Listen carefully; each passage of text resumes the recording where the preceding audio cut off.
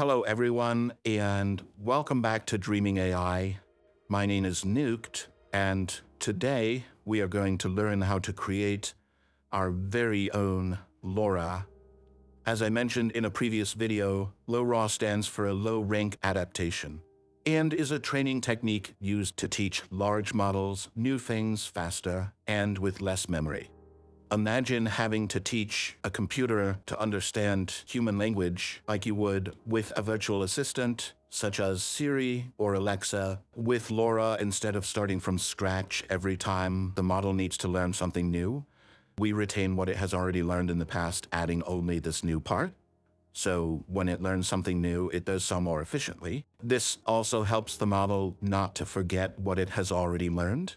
Furthermore, this technique is very intelligent in managing the model's attention, helping it focus on important details during learning.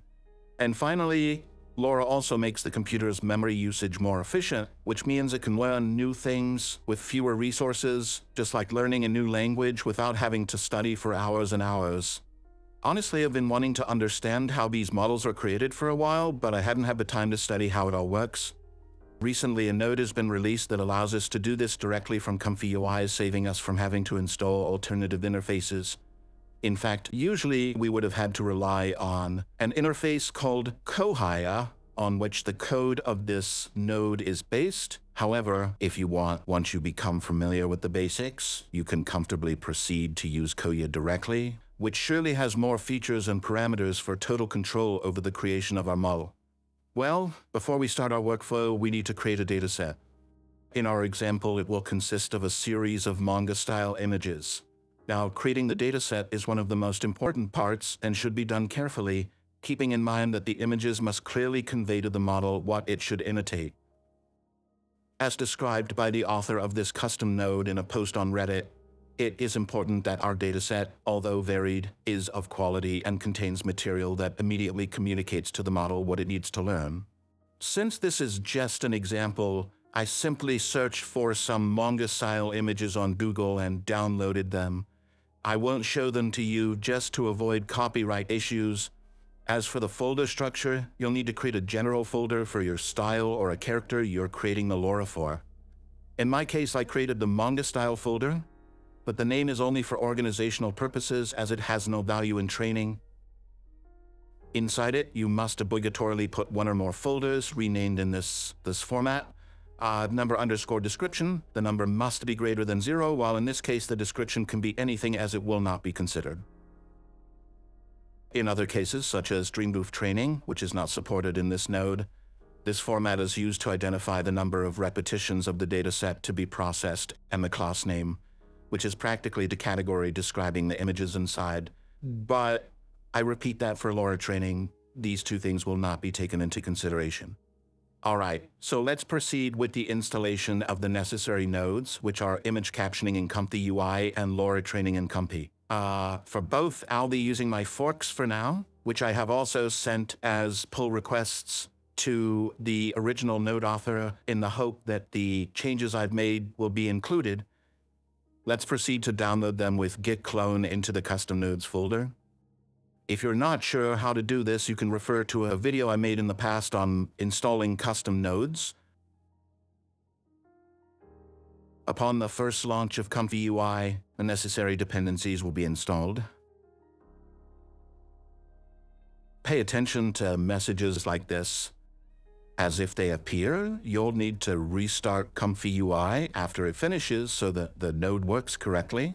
If you're using the original node, you'll need to install the dependencies listed uh, either in the winrequirements.txt file for Windows or the requirements.txt file for Linux before starting Comfy UI to avoid problems. Since I'm currently without my Linux operating system, I couldn't test my fork on it, so it's very likely that you'll also need to use the requirements.txt file to complete the operation for the latter. Great, now let's divide our workflow into three parts. Uh, the first part is where we associate a description with each image. The second part is where we perform the actual training. And the third and final part is where we test our new LoRA. So Let's start with the construction of the first part. Load the LoRA caption load node, where we'll set the folder where our images are located. In my case, it's this one. Just a quick note, among the changes I made, I also introduced support for JPEG files, which are still missing in the original. Now, in the original example, WD14 tagger is used to tag each image. Um, since I recently introduced a model called JoyTag in my GPT node, which is known to provide better tagging than the models used by WD14, I decided to use that instead. However, you can use whichever you prefer.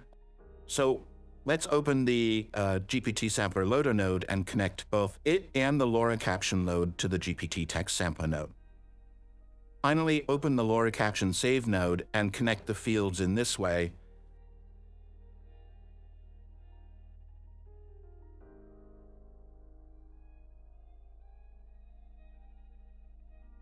In this last node, there's also the prefix field, which is simply our keyword that we'll then use in our prompt to activate our LoRa. In this case, I'll use my manga. It's not mandatory, but it's recommended to facilitate the use of the model. Perfect. Now let's start the workflow.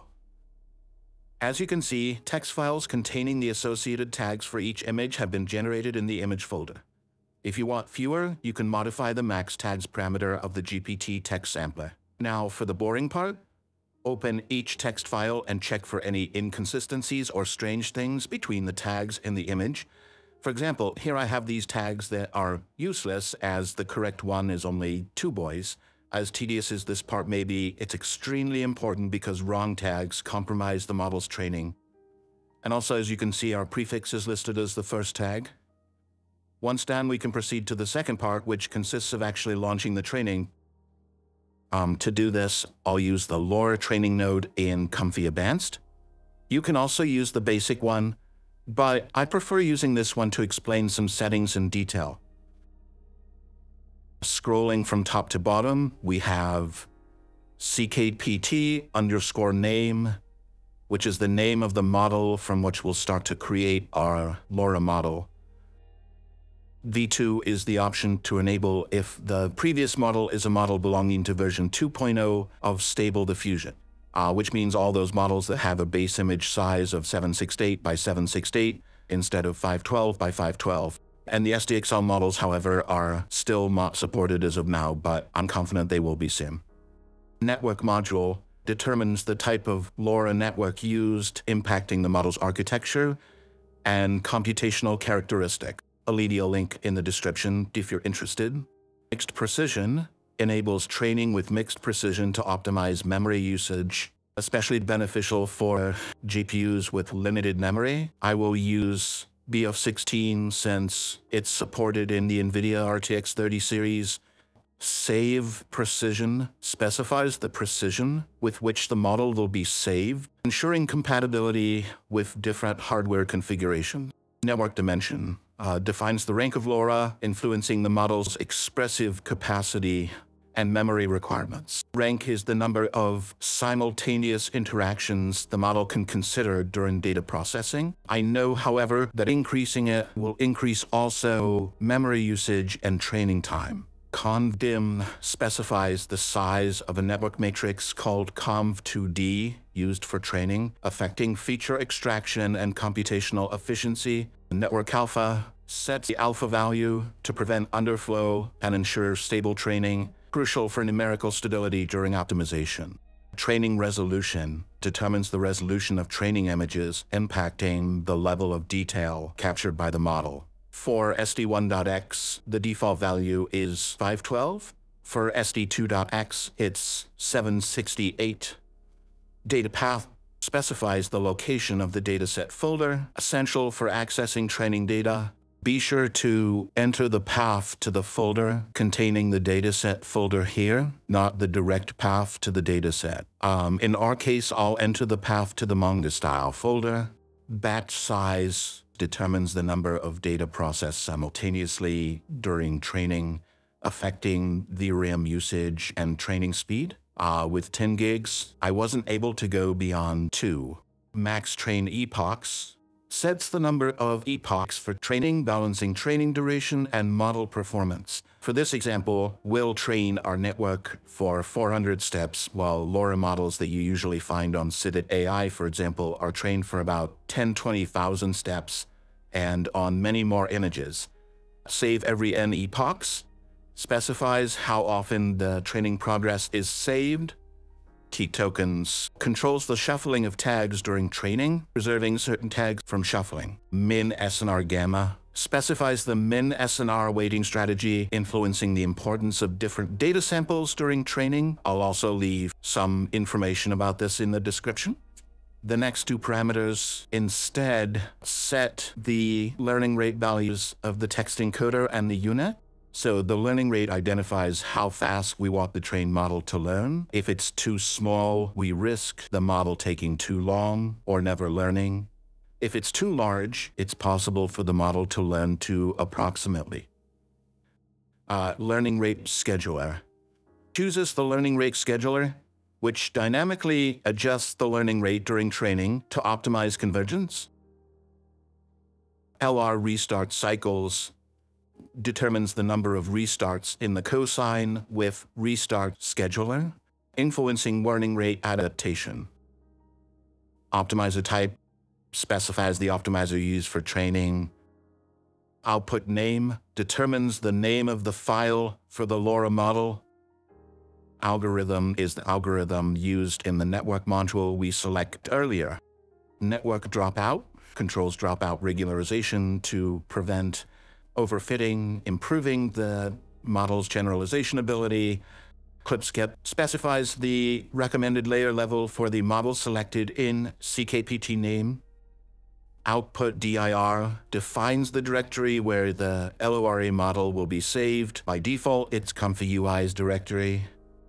In the end, we have TensorBoard that enables an interface commonly used during model training to visualize the training progress. In the original node, it was executable with a separate node, but I preferred to integrate it here for practical reasons. The interface can be viewed at this address once the training has started. Well, after probably the longest explanation I've ever given for a custom node, let's proceed to execute the training.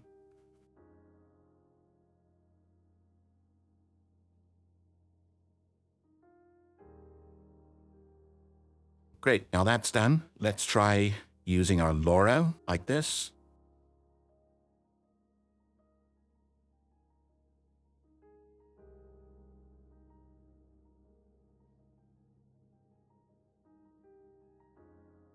In this example, since our training has been done on very few images and for very few epochs, I'll exaggerate the value of strength model beyond normal. In properly trained models, in fact, this value should be around 0.7. In the positive clip, I'll put the prefix we set earlier. For this example, I'll also include a flow that shows us what the image would look like without LoRA, so we can see if we've actually had a significant impact on the result.